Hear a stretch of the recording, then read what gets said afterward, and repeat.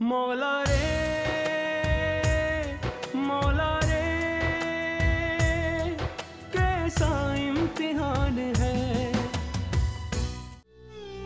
हामिद के इतने जुल्म मैंने क्यों सहे? इन दोनों की वजह से ना? अब खुद ही बताओ मरियम, अगर हम लोग अहमर के घर शिफ्ट हो गए तो कितने सारे सवाल उठ खड़े होंगे? मैं बात करूँ अहमर से?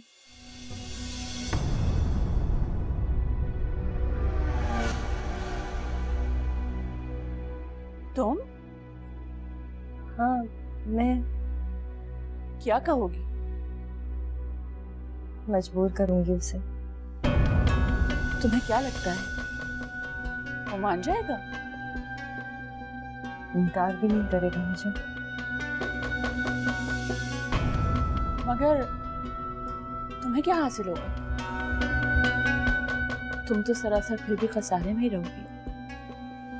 नहीं। मेरी ममता मुतमईन हो जाएगी और तुम्हारा दिल? मेरे दिल में?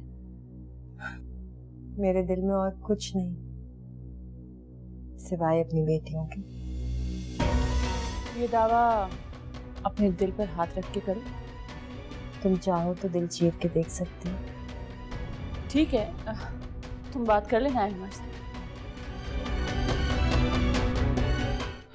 कितना सारा काम रहता है। कल के हंगामे में तो पढ़ाई करना ही भूल गई।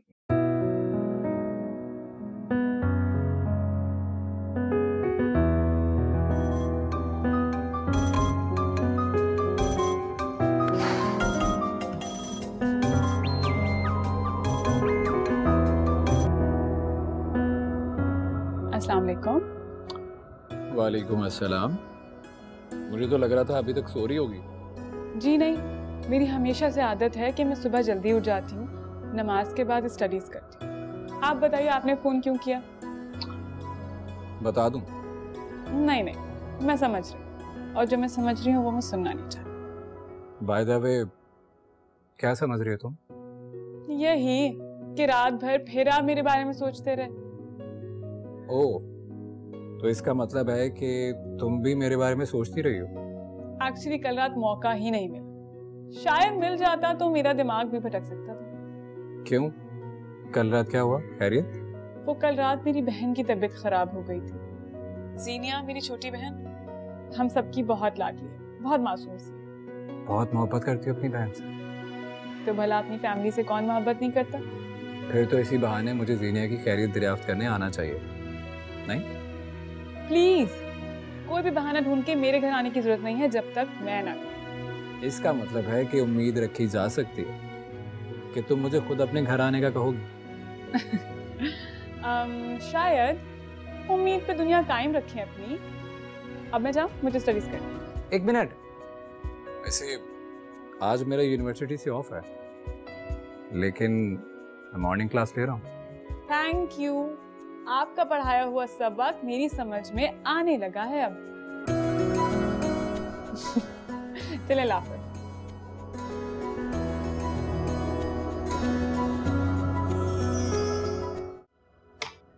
अरे तीनों बेटी उठ गई तबीयत कैसी है? ठीक है मामा। वो मरियम आंटी चली गई। हाँ सुबह ही चली गई थी। पापा का फ़ोन आया? नहीं। आपने फ़ोन किया? नहीं। मैं इसलिए फ़ोन नहीं करूँगी क्योंकि फिर वो अपना मुतालबा दोहराएँगे। घर आने के लिए शर्तें रखेंगे। हम्म। आप कहीं जा रही हैं? हाँ बताया था ना कि मैं जॉब शुरू कर रही हूँ। पापा की इजाज़त के बगैर? फिर क्या करूँ जी वैसे तुम्हारे पापा से ज़िक्र किया था। तो जाने से पहले इजाज़त ले लें मामा। अच्छा। ठीक है।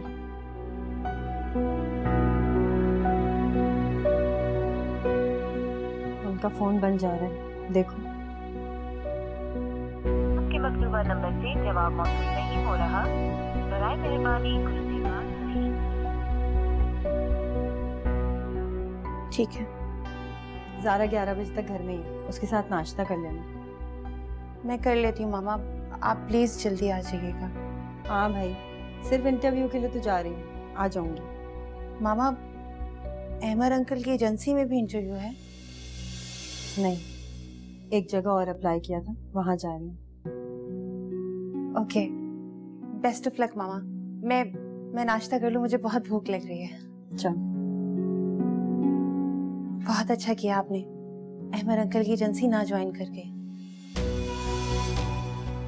थैंक यू ये लड़की भी ना बस।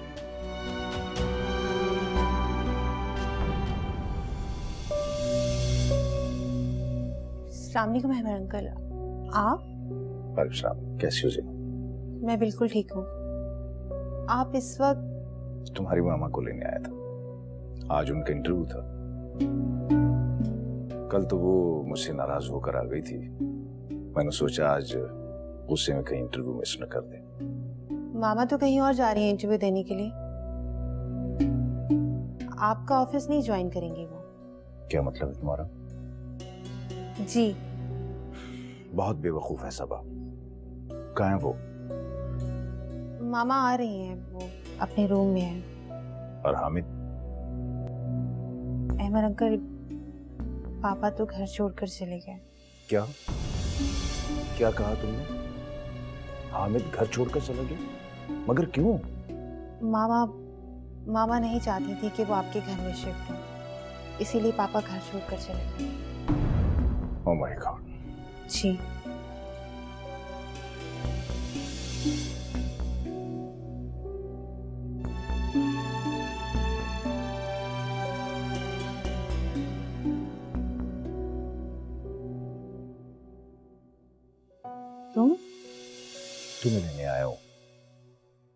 सोचा अपनी निगरानी में तुम्हारा इंटरव्यू करा दूँ। इंटरव्यू के लिए तो जा रही हूँ लेकिन कहीं और। ऐसा क्यों कर रही हो सबा? ये जॉब तुम्हारे लिए बहुत मुनासिब है। जब मैं हामिद की बात नहीं मान सकती तो मैं किसी और की भी नहीं मान सकती। क्या बात क्या है सबा? मुझे बताओ। अहमद किसी भी शादीशुदा औरत की ज़िंदगी में सबसे इम्पोर्टेंट उसका शोहर होता है। और कोई नहीं। मैंने कभी नहीं चाहा सबा। कि तुम हामिद से ज़्यादा अहमियत मुझे दो। मगर मगर क्या? हम लोगों के लिए हर वक्त परेशान क्यों रहते थे हमें हमारे हाल पे छोड़ क्यों नहीं देते अहमद? हामिद घर छोड़कर क्यों चला गया? जाओ उसी से जाके पूछ लो।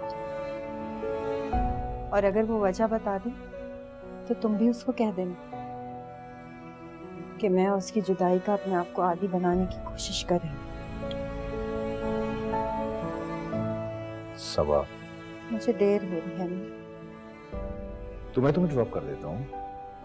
मैं चली जाऊँगी प्लीज़ सबा टू मच छोड़ इस बात को। आओ मेरे साथ। तुम्हारे नाम की तलवार लटक रही है। उससे मैं सुरखरू हो जाऊँ। तुम क्या समझती हो मेरी वजह से? हाँ तुम्हारी वजह से मेरा और हामिद का रिश्ता किसी भी वक्त टूट सकता है। मौला रे मौला रे, कैसा इम्तिहान है?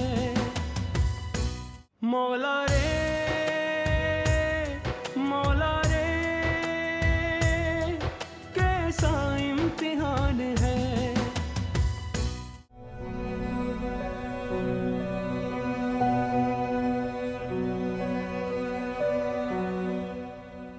सारा हमें पापा को मनाना चाहिए उन्हें घर लेकर आना चाहिए। कोई ठिकाना कोई अता पता तो है नहीं। और अगर हम मनाने जाएँगे तो पापा मान के आ जाएँगे? फिर सारा हमें कोशिश तो करनी चाहिए ना। ठीक है कर लेंगे कोशिश। और अगर पापा नहीं माने फिर? यही सोच सोच कर तो मैं भी परेशान हो रही हूँ कि फिर क्या होगा। तो हम हालात से समझौता कर। पापा के बगैर? हाँ पापा के बगैर। जीनू हमारे घर का सबसे बड़ा मसला ना तुम हो। मामा हमारे लिए क्या कुछ नहीं करना चाहती। लेकिन तुम्हारी बुजदिली उन्हें करने नहीं देती। पापा ने जो रास्ता इख्तियार किया है चलने दो उन्हें उस पर मज़बूत बनो और मामा को भी मज़बूत बनाओ हमारे लिए पल पल जी रही हैं पल पल मर रही हैं। अच्छा ठीक है। हम ऐसा ही करेंगे। मगर हमें पापा को मनाकर अपने घर लेकर आना चाहिए। और तुम्हें पता है मैंने ना उस जंगल क्वीन का नंबर सेव कर लिया। है शुक्र है। इतना यकीन तो तुम्हें है कि पापा वही होंगे। हाँ मैंने लोकेशन भी सर्च कर ली है तुम चलोगी ना मेरे साथ? सीनू मामा को पता लग गया ना तो बहुत जूते पड़ेंगे। नहीं पता चलता सारा। ज़्यादा दूर नहीं है। तुम तुम चलो मैं इस बात की गारंटी लेती हूँ मामा को नहीं पता चलेगा।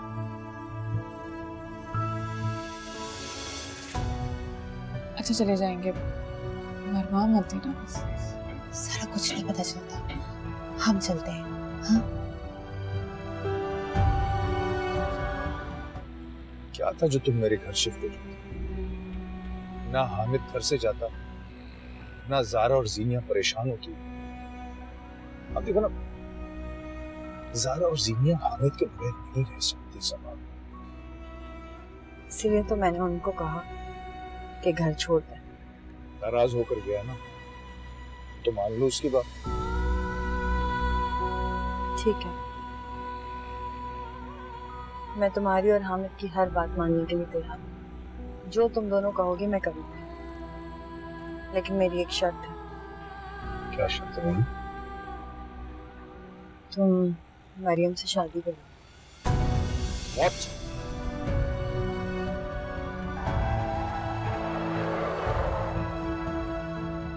क्या कह रही हो सारा? नहीं करो। क्या बात है? घर तो बहुत शानदार है। पापा की सैलरी जगह जगह नज़र आ रही है। कोई सुन लेगा। तो झूठ कह रही हूँ मैं। प्लीज़ चुप कर जाओ। आप लोग कौन है? यकीनन आप जंगल क्वीन हैं। ओ तो तुम हामिद की बेटियाँ हो। शुक्र है आप समझ गए। तो फिर ये भी समझ गई होंगी कि हम यहाँ पे क्यों आए। सारा चुप करो। आंटी वो आप पापा को बुला दें। हमें उनसे बात करनी है। क्यों? क्या बात करनी है? क्यों मिलना चाहती हो? जी वो वो हमारे पापा हैं। एक चलाक बिल्ली और एक भीगी बिल्ली तो आपने बिल्ली से हमें इसलिए मिलाया ना क्योंकि आपका खुद ताल्लुक जंगल से। शट अप तुम्हारी इन्हीं हरकतों की वजह से ना तुम्हारे पापा घर छोड़कर यहाँ आ गए जी नहीं आपकी हरकतों ने पापा को दीवाना बना दिया। पापा घर चले। जाओ अपनी माँ से पहले कहो शौहर को अहमियत देना सीखे। शोहर की इज़्ज़त क्या होती है? उसे पता होना चाहिए। पापा पापा आप जो भी कहेंगे ना हम वो करेंगे। पापा प्लीज़ घर चलें। इधर मुझसे बात करो। मैं अगर कहूँगी ना तो तुम्हारे पापा तुम्हारे साथ जाएँगे। क्यों? सारा चुप करो प्लीज़ पापा हम और मामा आपसे कभी भी कुछ नहीं मांगेंगे अब। मामा ने ना जॉब शुरू कर दी है। वो हमारा और घर का खर्चा उठा लेंगी। प्लीज़ घर चलें पापा। हम आपको तंग नहीं करेंगे। तुम और तुम्हारी माँ इस काबिल ही नहीं है कि हामिद तुम्हारे साथ जाए। हामिद आप जाए रेस्ट करें। पापा। देखा हामिद मेरी कितनी बात मानता है। नाउ गेट लॉस्ट ठीक है अम्मा मैं जानती हूँ कि मेरी शादी घर वालों की मर्ज़ी से हुई। लेकिन आज मैं ये भी इकरार करना चाहती हूँ कि इस शादी में मेरी मर्ज़ी और पसंद बिल्कुल भी शामिल नहीं थी। लेकिन निकाह के बाद मैंने हामिद को अपना नसीब बना लिया। लेकिन नसीब इतना भी खोटा होता है ये बात मुझे मालूम नहीं थी। सबा। अहमद अब यही नसीब मेरी बेटियों का मुस्तकबिल भी है और उनकी तकदीर भी। बस मैं तो यही चाहती हूँ कि मेरी बेटियाँ अपने पैरों पे खड़ी हो जाएँ, पढ़ लिख लें अपने घरों की हो जाएँ खैर से। पता नहीं ये देखने के लिए मैं ज़िंदा भी बचूँगी या नहीं। मैं जानती हूँ अहमद कि तुम मेरी ज़ात से ज़्यादा मुझसे मुखलिस हो। इसलिए मैं चाहती हूँ कि तुम मरियम से निकाह कर लो ताकि मेरे ऊपर जो ये तुम्हारे नाम की तलवार लटक रही है उससे मैं सुरखरू हो जाऊँ। तुम क्या समझती हो मेरी वजह से? हाँ। तुम्हारी वजह से मेरा और हामिद का रिश्ता किसी भी वक्त टूट सकता है। और मेरी बेटियाँ मेरे और अपने बाप के ताल्लुक को तुमसे जोड़ती हैं। तुम्हारी एक बार शादी हो जाए तो मैं सुरखरू हो जाऊँगी। देखो सबा, हामिद का चाल चलन, उसका रवैया। तुम्हारी बेटियों के मुस्तकबिल के लिए खतरा है। बेहतर है तुम उनके रिश्ते करो। अच्छे लोग भी हैं इस दुनिया में। वो जारा और जीनिया की तालीम मुकम्मल करवाएँगे। उसका जिम्मा मैं लेता हूँ। तुम्हारी ज़िंदगी में भी सुकून आ जाएगा सबा। हामिद को तुमसे ज़्यादा तुम्हारी बेटियों से मसला वो भी सुकून में आ जाएगा। उसके बाद मैं भी शादी कर लूँगा। जिससे तुम कहोगे प्रॉमिस तुमसे झूठा वादा करने का मैं सोच भी नहीं सकता। तो बस हामिद को किसी तरह घर ले आओ। ले आओ। तुम्हारी सिर्फ़ एक बेटी को जीना आता है। जारा जो लड़ कर छीनना चाहती है।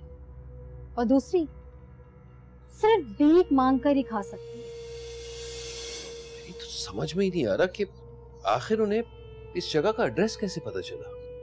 आज का दौर बहुत ही एडवांस है हामिद साहब। इन सारी बातों को छोड़ो और मेरी बात सुनो। अब तुम जाओ अपने घर क्योंकि तुम्हारी गैर मौजूदगी में उन लोगों को होश आ गया अब तुम जो कहोगे ना उन्हें तुम्हारी बेटियाँ भी मानेंगी और सबा भी मानेगी। ठीक कह रही हो तुम। अब तुम घर जाओ और सबा से दो टोक बात करो कि मैं एक ही शर्त पर इस घर में वापस आऊँगा कि लड़कियों की शादी मेरी मर्ज़ी से होगी। thank you